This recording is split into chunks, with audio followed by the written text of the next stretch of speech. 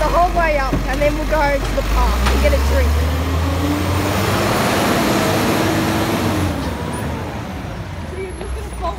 So. Pretty much to the end of the road.